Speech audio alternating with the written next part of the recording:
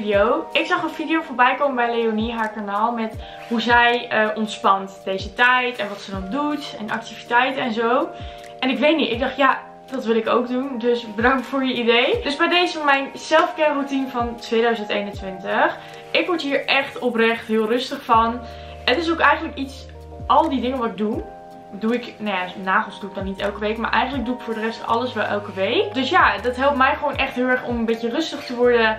En niet te veel na te denken. In plaats van dat ik op mijn mobiel ga, doe ik dat soort dingen. Dus heb jij nog tips nodig om te ontspannen en lekker te de-stressen? Bekijk dan zeker deze video, want wellicht heb je er wat aan en kun je er wat inspiratie uit halen. Goedemorgen alweer, het is op dit moment maandag. En ik heb vannacht bij Sander geslapen.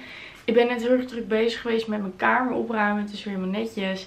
En daarna met school. En nu ben ik eigenlijk ook al wel weer klaar mee eigenlijk. Dus ik dacht ik laat jullie zien ehm, ja, wat ik doe om te ontspannen. Een beetje selfcare. Het is ook wel weer nodig. Ik ga lekker een maskertje in mijn haar straks doen. Ik ben zaterdagnacht echt heel erg nat geregend op de fiets.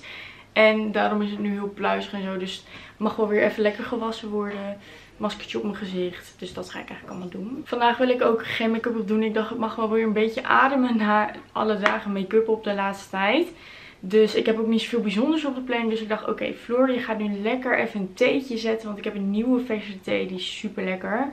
En je gaat even een lekker dagcrempje opdoen. Gewoon even jezelf verwennen. Lekker ontspannen. En een beetje me-time, want dat mag ook wel weer een keer.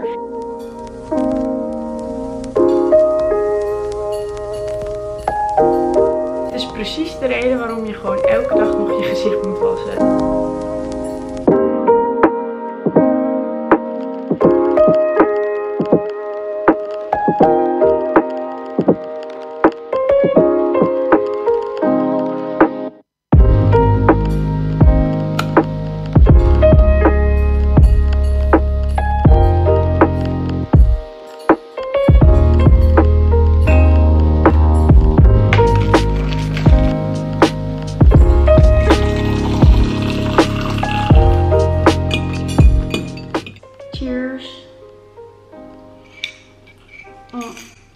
Ik heb dus de komende week en volgende week super veel schooldeadlines.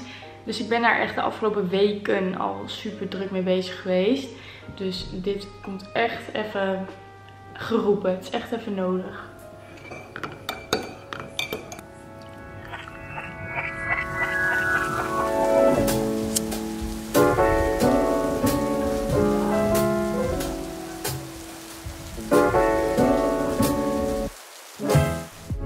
Oh my god, het is 21 juni en ik heb al helemaal zin in de herfst, in de winter, in de kerst. Oh my god, ik ben echt zo'n kerstmens en wintermens. Vertel me dat ik niet de enige ben.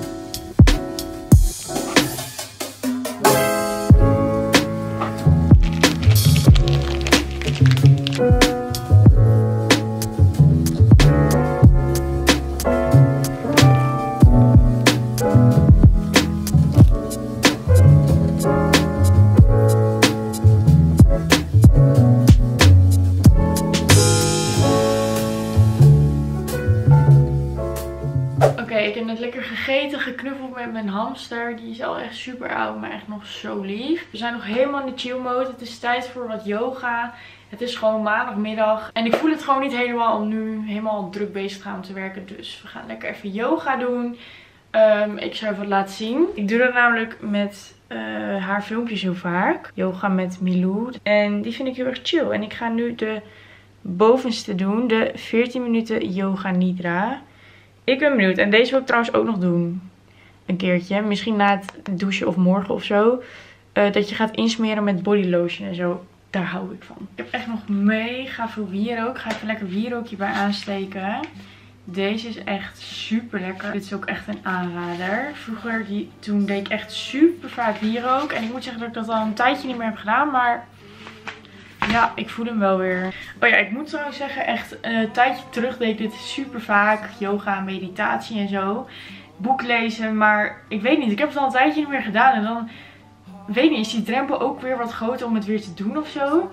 Ik vind als je ehm, dat dagelijks doet, dan is het gewoon, dan hoort het bij je routine. En als je dan een tijdje niet meer hebt gedaan, is het best wel weer lastig om een beetje erin te komen. Dat, tenminste, dat heb ik heel erg. Heb ik ook met boek lezen. Dus ik moet er weer even een beetje inkomen, maar we gaan ervoor. yoga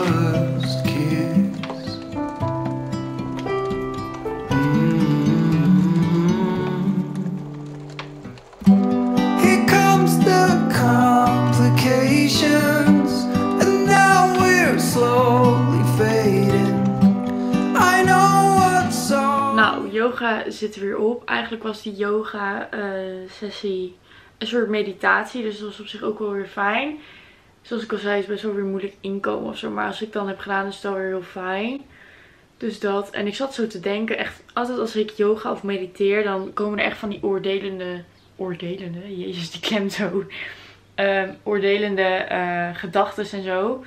En toen zat ik ook echt zo van, waarom zit je nu om half twee smiddags dit te doen. En uh, je moet wat anders doen. Je moet productief zijn. En bla bla bla. Dus gelijk die dingen kwamen in mijn hoofd. En toen dacht ik echt van. Het is toch eigenlijk bizar hoe erg wij allemaal denken van. Goh, we moeten wat doen. We moeten productief zijn. Uh, we moeten presteren. Dingen doen. Bla bla bla bla.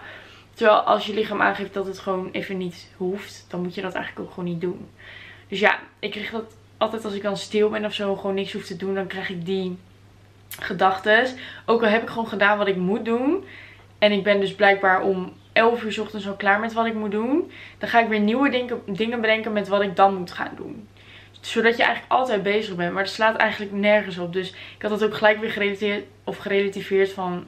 Of niet eens gerelativeerd. Gewoon gedacht van Floor, stop die gedachten weg. Um, want dat slaat nergens op. Lekker luisteren naar je lichaam dus. En je hoeft echt niet altijd wat te doen. Dat wil ik even zeggen. Ik ga nu dit matje opruimen. En dan ga ik denk ik even lekker mijn uh, wenkbrauwen verven. Of ga ik dat morgen doen? Ik weet het niet zo goed. Ik ga denk ik lekker Married at First Sight kijken. En ondertussen even serum en zo op mijn wimpers en op mijn wenkbrauwen doen. Ik gebruik dus nu een paar dagen, ongeveer al drie dagen, de X-Brow en de X-Slash serum. Echt heel erg chill. Het is ook echt in zo'n hele mooie verpakking binnengekomen. Maar ik ben dus heel erg benieuwd. Um, dit ben ik dus aan het testen, vijf weken lang. Ik heb een before foto van mijn wenkbrauwen en van mijn wimpers gemaakt. En ik ben echt benieuwd of het wat gaat doen. Maar dit moet je dus zo op de wimperrand zo aanbrengen als een soort eyeliner. En er zit een soort olie op. Dus dat zou je wimpers langer en voller moeten maken. En dan heb je dus ook dat voor je wenkbrauw. En dat voelt als een soort lipgloss-achtig iets. En hier staat eyebrows speak louder than words. Echt een mega leuke verpakking. En dat doe je dus zo over je wenkbrauwen heen. Nou, dat zit erop.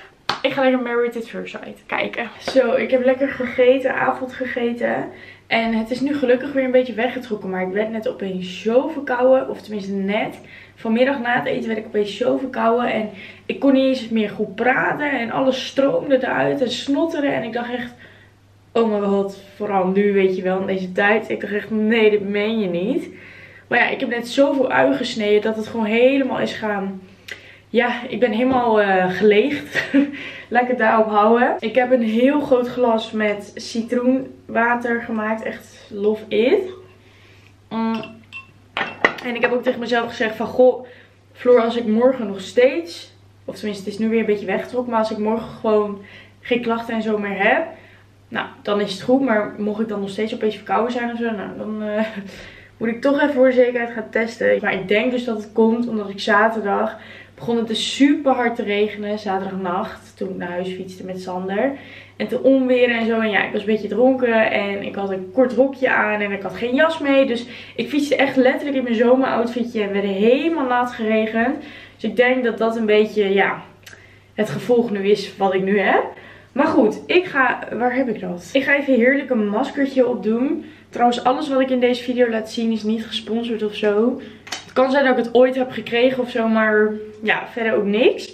Maar ik ga dit maskertje opdoen van Glam Glow. Dit is zo'n moddermasker en die ruikt ook best wel sterk. Dus ik dacht, ja, dat is top. Dat heb ik nu nodig. Dan gaat misschien even mijn uh, verkoudheid een beetje weg. Dus die ga ik lekker opdoen. Oh, wacht. Ik wil eerst trouwens... Ik ga weer helemaal te snel. Ik ga nu mijn huid reinigen. Dan doe ik een masker op. Dan ga ik lekker bad vol laten stromen. En dan ga ik lekker een avondje in bad zitten. Ik ga nu mijn huid reinigen met deze van Bioré. Zo'n pompje. En deze, ja, hoe noem je dit? Foreo um, reinigingsborstel.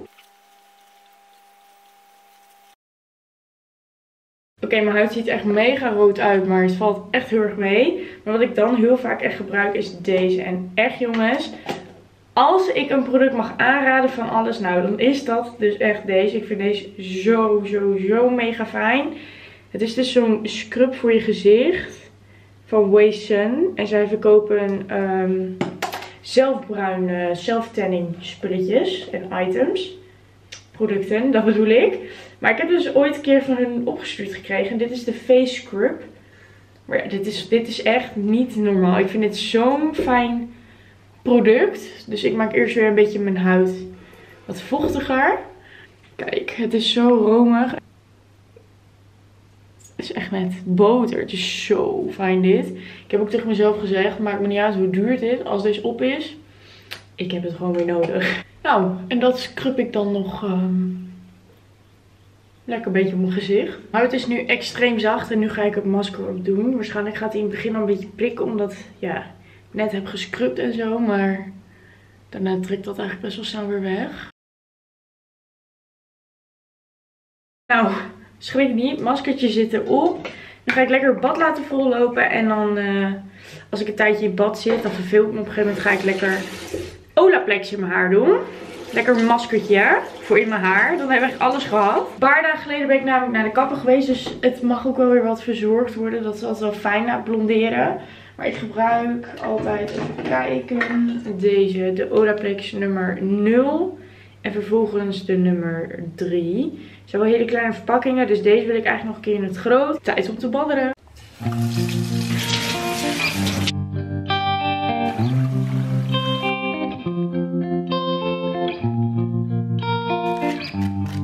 Nou, ik heb voetbal nog even een laatste stukje gekeken, maar het is 3-0 geworden, dus hartstikke mooi. Ik kom net uit de douche en ik dacht opeens aan dit ding. Massageapparaat, dus die ga ik gebruiken. Ik zie dat mijn batterij gaat uitvallen.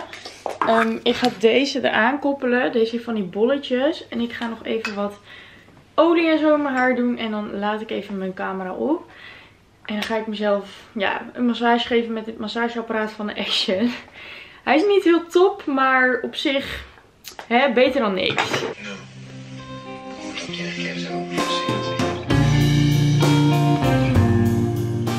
Goedemorgen, het is alweer de volgende ochtend. Ik heb even snel mijn haar gesteld, want ik heb natuurlijk met nat haar geslapen.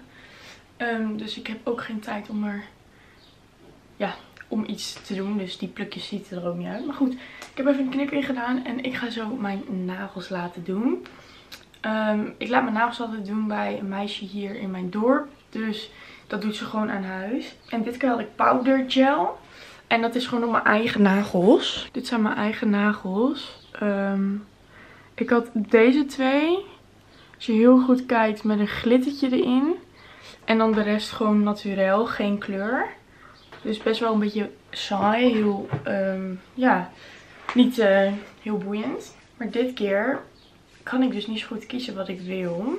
Dus ik heb een polletje gedaan op Insta. En dit is een beetje waar ik voor ga. Of zo'n Franse manicure met een streepje, zeg maar.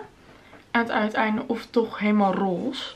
Nou, echt heel veel doen B. Uh, dat is dus die helemaal roze. Maar als het B niet is, dan is het C. En C is deze. Dus ja, ik twijfel zelf eigenlijk om die nu te doen. En dan in de zomer die als ik op vakantie ga. Want dat vind ik wel mooi als je dan bruin bent. Dat je dan, je dan van die felle nagels hebt. Dan springt dat er echt uit. Maar ja, ik kijk wel even wat ik ga doen. Maar ja, nagels doe ik eigenlijk altijd één keer in de drie of vier weken. Dat vind ik altijd zoveel heel fijn. Ja, normaal beet ik, vroeger beet ik altijd mijn nagels en ook velletjes om mijn nagels heen, zeg maar. En nu ik mijn nagels laat doen, ik doe denk ik nu al echt twee jaar of zo doe ik dat niet meer echt. Dus ja, nagels sowieso niet, want dat kan niet. Oh. Dus vandaar, ik ga lekker mijn nageltjes laten doen en ik ga jullie meenemen.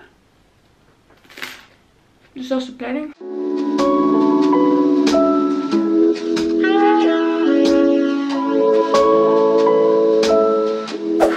ik uh, ben een beetje de tijd vergeten. Ik had dus het hok schoongemaakt van de konijnen. Voor school bezig geweest en het hok van mijn hamster. En toen was het opeens 5 uur. Toen dacht ik shit, over een kwartier moet ik weg. Want dan ga ik sporten. Ik heb een uitnodiging voor oeh, de vaccinatie. Ik heb me snel even omgekleed. Want ik ga dus zo sporten. Maar ik dacht voor ik ga sporten. Want ik heb ook geen make-up op. Doe ik even snel mijn wenkbrauwen verven.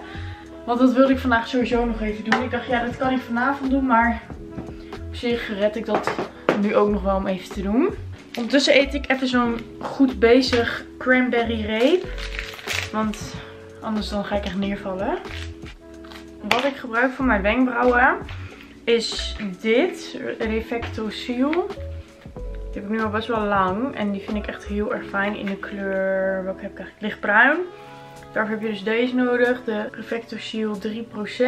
En dat, dat meng je door elkaar aan een potje.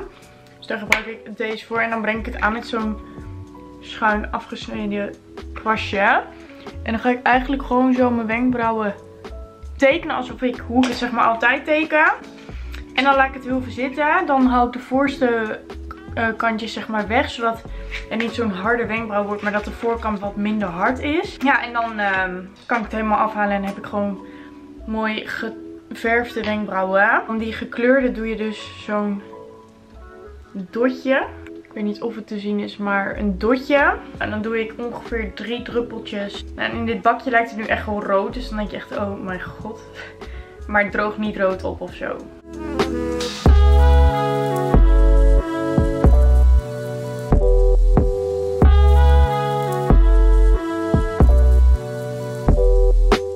Dit laat ik even intrekken. Ik heb het nu getekend. Maar, wat je dus niet moet vergeten, ik ging het dus weer weghalen met mijn vinger. En de vorige keer kreeg ik dus die verf op mijn nagel. Dat had ik niet door, omdat ik het zo weg ging halen. En toen had ik bruine vlekken op mijn nagel. En ik laat ze natuurlijk doen. Ja, dat gaat er niet af. Dus ik ga nu gelijk even heel erg goed mijn nagels wassen. Omdat ik natuurlijk niet weer van die bruine vlekken op mijn nagels wil. Heb ze net gedaan. Zou een beetje zonde zijn. Maar ik vind sporten dus echt heel erg fijn om te doen als ik wil ontspannen. Want sporten is eigenlijk een van de activiteiten bij mij waardoor ik gewoon niet ga nadenken. Waardoor ik gewoon even een uurtje... Ehm, ja, niet zo in mijn gedachten zit en wat meer uit mijn hoofd ben. Ik moet even niet vergeten om te eten. Nou, ik doe dus um, crossfit. Dus ja, ik vind dat allemaal, allemaal wel heel erg fijn. Oké, ik heb nog 5 minuten. Tada, wenkbrauwtjes geverfd. Ik ga snel sporten. Dan was dit de video. Ik hoop dat jij het leuk vond en dat je er wat inspiratie uit hebt gehaald. Het helpt voor mij, maar wellicht dat het niet voor jou helpt. Ik bedoel, iedereen is ook anders natuurlijk. Maar ja, ik word er zelf gewoon echt heel erg rustig van. En ik probeer het ook echt elke week allemaal te doen. Behalve dus mijn nagels. Maar voor de rest doe ik het eigenlijk wel wekelijks. Dus ik hoop dat jij ook tijd vindt voor jezelf. Om um, ja, jezelf eens even in de watten te leggen. En voor jezelf te zorgen. Dus bedankt voor het kijken. En ik zie jullie tot de volgende video. Doei doei!